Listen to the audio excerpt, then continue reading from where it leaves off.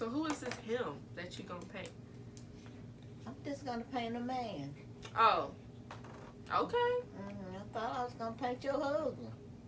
Oh, Brandon. Mm -hmm. You could paint him. You remember what he looked like? Mm -hmm. You do. Yes, ma'am. I know what he looks like. So if I see him on the street, I'm hey, hey. okay. Hey guys, so I wanted to kind of go over and talk about how it is living with my granny that has dementia. Well, she lives with us. Um, but I just kind of wanted to go over some things and just kind of talk about how it is, what it's like, how to try to, you know, how we try to help her and everything and whatnot. So I'm gonna go ahead and get right on into it. So, um, so I believe that um, when she first got diagnosed with dementia, um, she was at a point to where um, she missed her sleep study, and I believe that's kind of how like they go in and see like what's going on with certain people and whatnot. But my granny is very stubborn, and she didn't want to do it. So um, she, you know, she just developed this over time. So I think that she might have started to develop this over time because of my grandfather passing away. Um, but I'm not, you know, I'm not too sure. That's just kind of how I feel and how I see it because then she was, you know, leaving, living with him, and then now, you know, she's, you know, he's gone, so she was no longer, you know, living with him. Um, so she was living by herself for a while, and uh, you know, she used to be able to drive and take care of herself. Then she had, I remember she got into an accident. You know, she can't really see like that when she drives. And um, what else?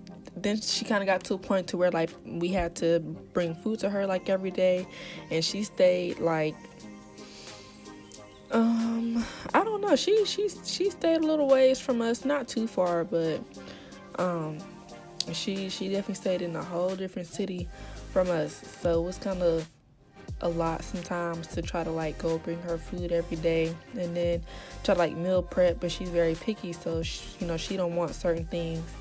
Um she, you know she don't want them she gonna eat it so um that's how it was like in the beginning. Then she kind of started to forget about her keys you know locking her doors and things of that nature. And that was just a red flag to us just you know a major concern.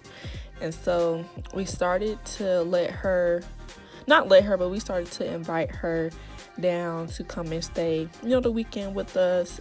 At the time the guest bedroom was not like completely set up.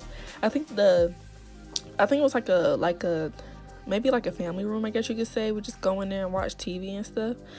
Um, so we had like you know couches and stuff in there. So I guess you could say it's a den, which I guess it is a den, but it's a bedroom. So I don't know. But um, you know she would come down and spend the weekend with us, and that was good.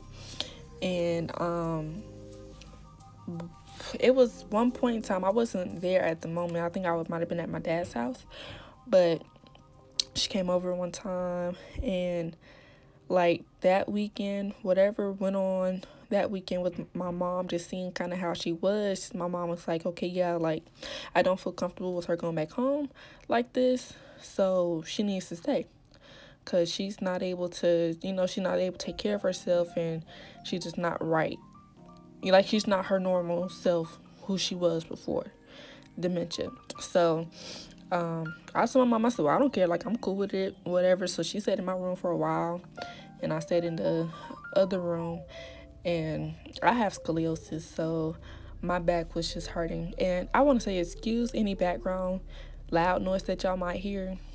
Um we've got roofer roof roofers here doing some work on the house. So if y'all hear anything loud that's them. But um yeah so um yeah, my back started to hurt after a while, and I'm like, okay, we need to go ahead and get her her room set up and whatever because I need to get back in my bed. So, um, so yeah, so once everything got settled and she was here officially, um, things were okay. But as time goes on, like you know, obviously, like she gets worse as time goes on, but it's not like extremely bad or anything. But um, it got to a point to where, like, with school, for me personally, at the time, like I'm, you know, COVID wasn't a thing, and I was still going to class, and I ended up being like to where I was on time to my classes, to where like I'm late to like my first classes, sometimes second classes if I missed my whole first period well, not period, I guess you could say, because it's not high school, but uh, my first class that I had in college at school. So, because uh, you know, I can't, I couldn't leave with her just needing help. You know, I had, you know, I made sure I always help her and take care of her before I head out to make sure she's good. Cause my mom worked full time, and I'm trying to be a full time student and work. so you know, so school went from went from being on time to not being on time and which is okay um because it's you know it's my grandmother it's my granny so but um she's had moments to where like she don't remember where she is uh she thought my room was her room for the longest and um she has moments where she cries. Um, she feels like nobody loves her and whatever. She's here by herself and stuff. And so, um, me personally, I'll just try to like comfort her and I talk to her. And that's what me and my mom do. We just let her know, like, we're here. Like, you're not here by yourself or going through like all of this by yourself. Like, we're here with you. We love you. We're taking care of you. But she's very like stubborn and like hard headed. So, um, I don't know. That's just her as a person. So, like, whatever we tell her, sometimes she's gonna listen, and sometimes she just she just set on how she feel or set on what she thinking. so we could tell her that all day long, and she's still going, no, nobody loves me, or you know whatever. So it's it's just like, hey, okay. But um, she does have aggressive moments as well, with her like trying to fight. Um, that's just her as a person um because she's always been kind of rah rah i guess you could say um but it's just it just it's just how it is like now like i don't know but um yeah she she has moments when she wants to curse at us and call us all out of our names and fight us. I done been scratched up. My mama done been scratched up.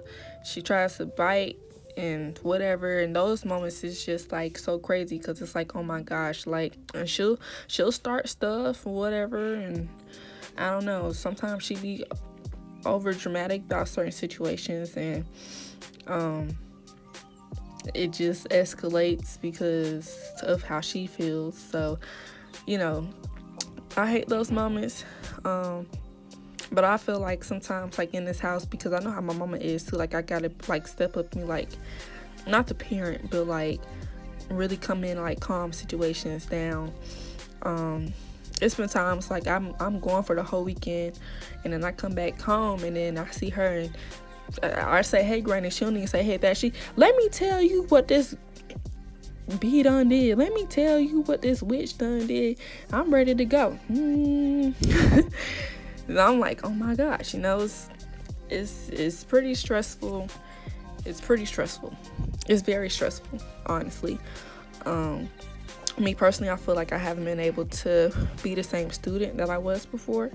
But I mean, it's okay because um, I'm still trying, to give an effort in classes and, you know, doing what I can do.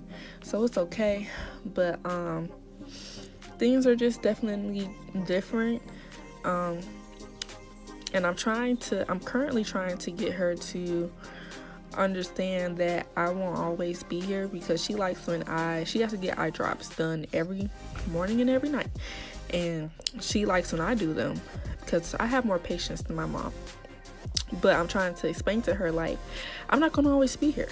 And then with with my fiance going into the military or in the military now or whatever like once he get done with basic and done with his schooling, and I go out there with him, like I'm not gonna be here. I'm being a whole nother state or whatever. I can't always do her eye drops and whatever. I'm trying to get her to understand that I'm not gonna always be here. So like you gotta work stuff out, you know. But things I try to do to help. Really, I I honestly don't know what I can do. We used to do puzzles when I was younger. She don't do puzzles. She throw them away. Um, she throws a lot of her clothes away too, like clothes, shoes, because she think that it's not hers. And I'm like, no, this is yours. Like, don't throw this stuff away. But um, yeah, try to, I don't know, just try to do things. And I let her sit outside. She likes to be outside and soak up the sun and whatever. So I'm not sure, but I've been trying to find some things to do to help her with her brain and her her thinking and you know get her juices flowing. So as you can see this is why i decided to paint.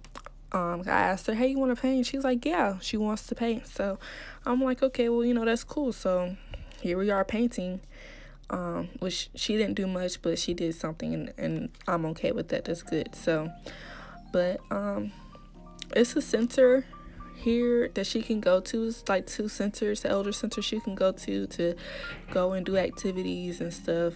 Um i think one of them specialized in dementia patient so that's great because she she could wander off and whatever and i don't want any of those situations so. But so far you know things have been okay.